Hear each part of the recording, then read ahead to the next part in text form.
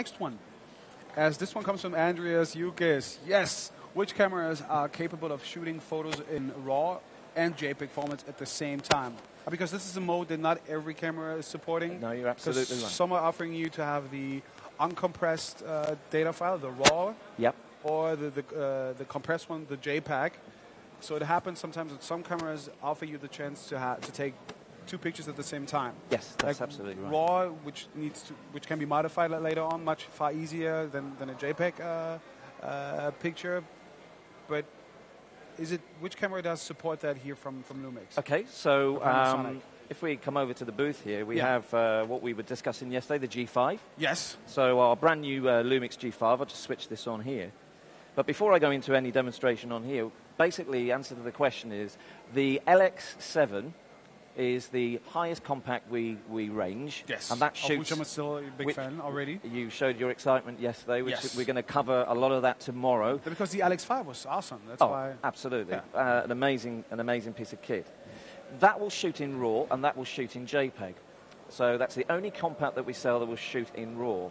It's the entry level then to the rest of the cameras that shoot both, as you, your, uh, the person's just said, in uh, JPEG and RAW, but in different levels as well. So what we can Because do. I'm never, I'm never sure what I'm really going to do afterwards with the picture. That's why that's one of the benefits of having the two standards at the same time.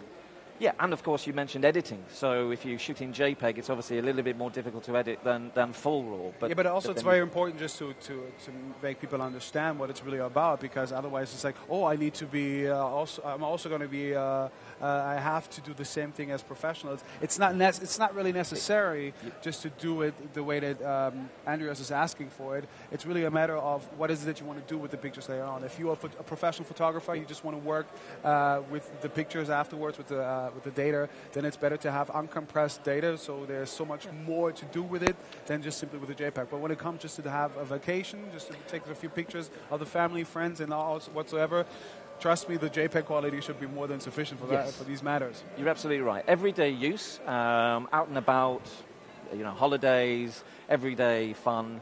JPEG is more than enough to, to, to, to use. You're absolutely Yes. right. And I can show you very, very quickly on here.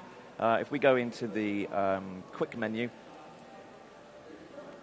and if I just move across. Also, I don't really consider that as really easy because these experts still have to switch like from model to model. So I understand it's always going there to we take a As few you- seconds to adapt. As you can see, we can shoot in RAW, we can shoot in uh, a lower compressed RAW file. Both, as you, uh, Andreas, I think uh, uh, we- we're identifying, is both in RAW and JPEG Yes. and full JPEG as well. Yeah. But don't not forgetting that RAW obviously takes up a lot more memory and it is Far yeah, more, yeah, up to yeah.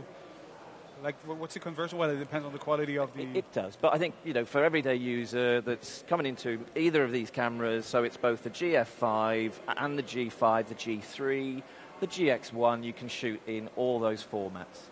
Uh, any compact such as the TZ30 uh, downwards will only shoot in um, JPEG. Yeah. Okay. So Okay. that, that's what the models, and I think like the, the conversion rate, it's not, it's not a rate, but I think when when like a nicely done JPEG should take about like two up to four megabytes. Yeah, possibly. Like again. walking Yes, up goes yes. up to like 40, 60, depending, of course, like how many megapixels Absolutely. uh, you, you're shooting with. So, Andres, this is your